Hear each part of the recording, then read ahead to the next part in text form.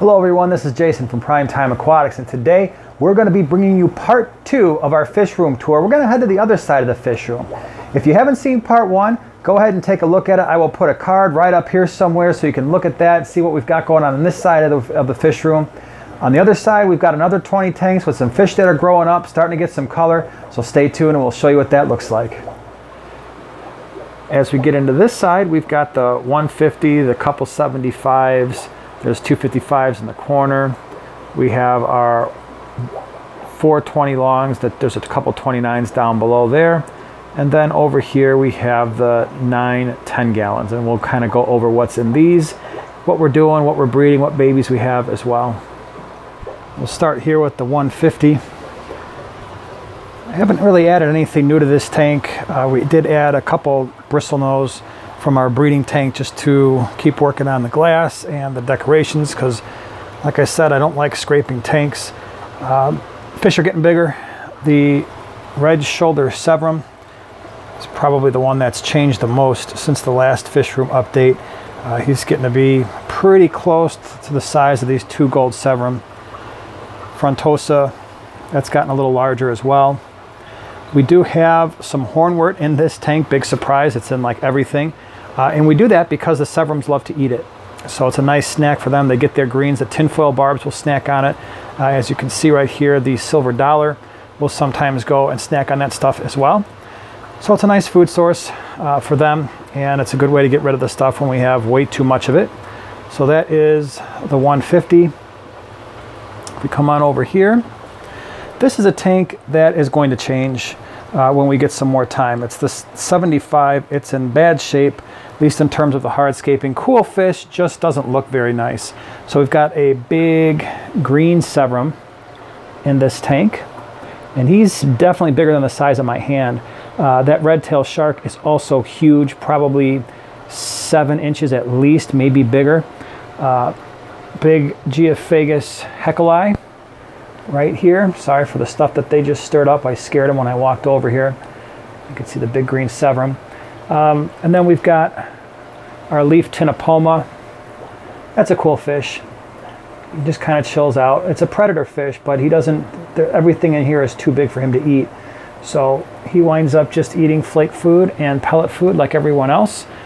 And we give these guys the occasional bloodworm and brine shrimp treat as well. Uh, we've got our pearl gourami. I think that's probably my favorite type of gourami. Uh, if he was in the light, it would show a little bit better. But that's a cool fish. But this 75 is going to get broken down. Uh, it's going to get broken down and we've got to do something with it besides making it look like that. Uh, right up above, we have our other 75.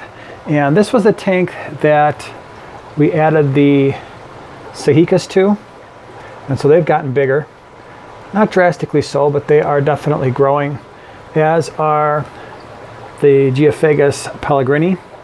So we have, I, I want to say eight of the Sajicas and then nine of the Geophagus. So they're getting, uh, they're starting to grow.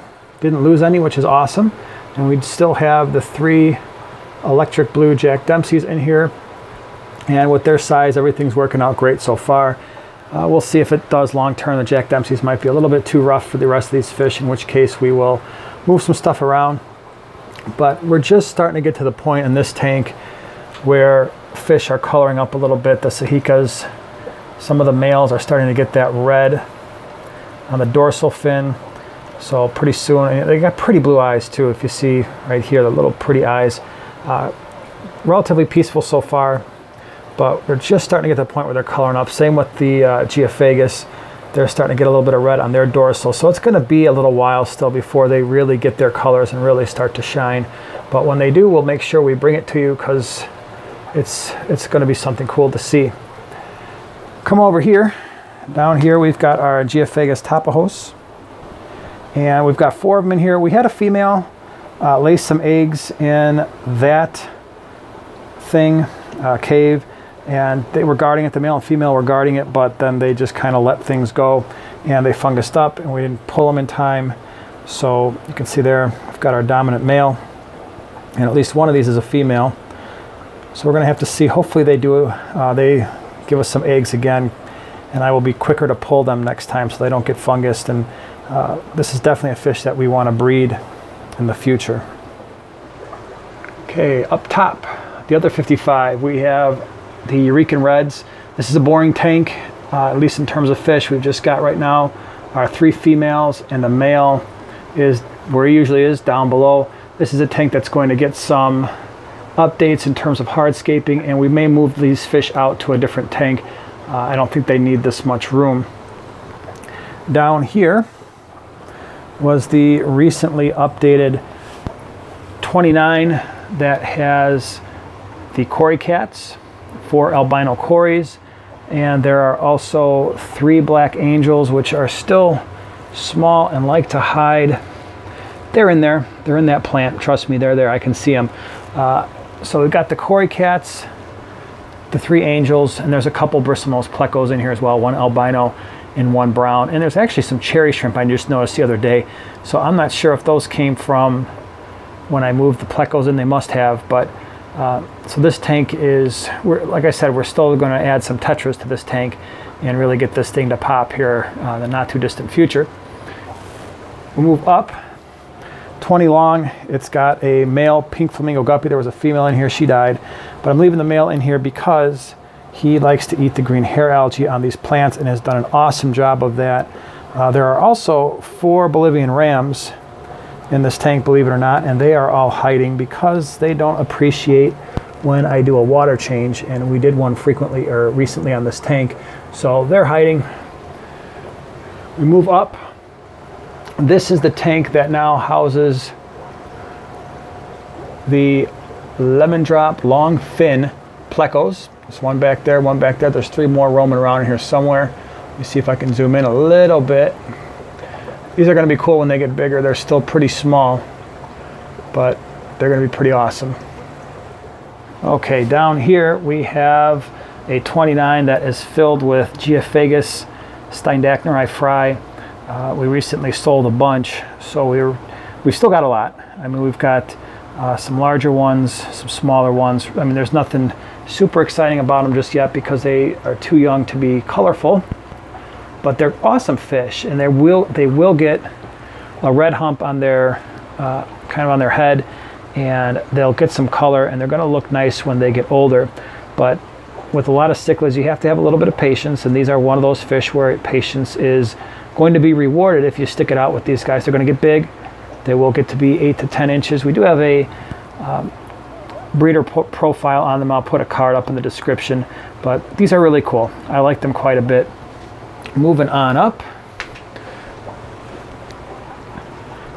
We have the gold ocellatus tank. So here we have one there. Another one looking at us by his shell. Oh, there's the big male. And there he is. And they really colored up nice. The males look fantastic. This is a female over here. Less color. And she actually did at one point have a couple fry and I didn't get them out and now they're gone. So next time I see them, I will remove them and put them in their own tank because the one thing about the gold ocellatus is they will eat their fry. So they're not like the Maltese and some of the other shell dwellers where they can live in a community and the, and the adults for more or less leave them alone. The fry, that is. These guys don't. They eat them, and we lost a couple uh, recently. So I will make sure to get them out as soon as I see them next time. So uh, we're moving on up again. This is the pink flamingo guppy tank. Did a species profile on that, on these guys, and now again I will put that in the card up above. But you can see tons and tons of fry. So definitely over 20. They're up in that uh, hornwort. They're all along here. They're behind that plant, behind the sponge filter. Very cool. Like these guys quite a bit. For a guppy, they are pretty awesome looking. Then we come on over to our 10s. So our 10s, this is a tank that had a group of Java rice fish that were getting old, and now I just I'm down to one or maybe two females and a pleco in here. This will have to be, uh, we'll do something else with this tank.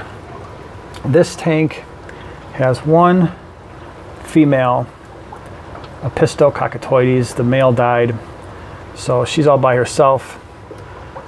This one has all of the Eureka Red fry. And again, we did a species profile and I will put that in the description as well. Down here, we have the Oreochromis niloticus. This is the Nile perch. I'm sorry, Nile tilapia.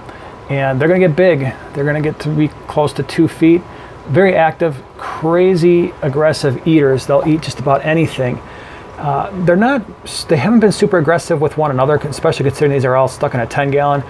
Most likely I'm gonna bring these to auction uh, when it comes up, but they are cool looking fish for someone who's got a larger tank. These things are, are definitely interesting. I've got one in a 125 right now, um, but yeah, pretty neat.